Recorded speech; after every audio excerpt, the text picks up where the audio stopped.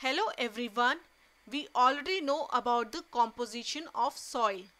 So let us understand what makes the soil fertile. It goes without saying that the capacity of holding water and nutrients is the most crucial criterion for a fertile soil.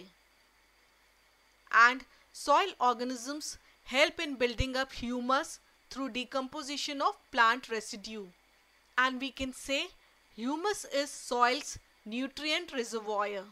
So, the fertility of soil can be described in terms of soil's organic matter content and water holding capacity which is dependent on soil component and structure also rate of biological activity in the soil. Thus, all these factors decide how supportive that soil is for the growth of plants. You know, the major part of soil microbial biomass is fungi. For example, mycorrhizae fungi live in symbiotic relationship with about 90% of plants in their roots.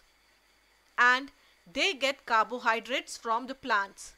In return, they provide water, minerals from the soil to the plant.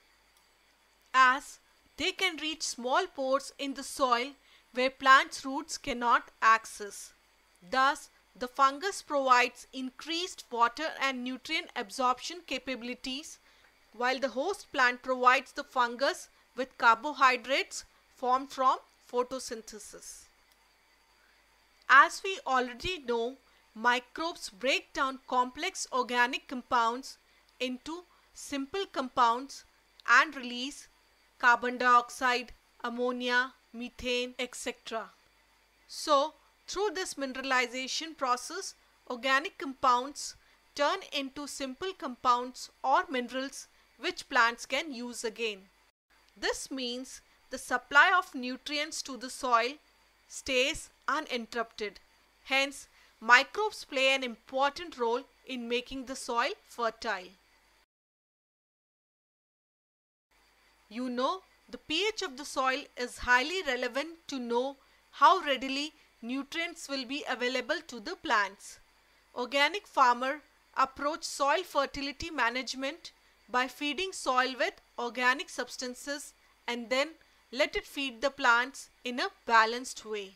So decreasing pH too much is also a bad idea. That's all for now. Bye bye.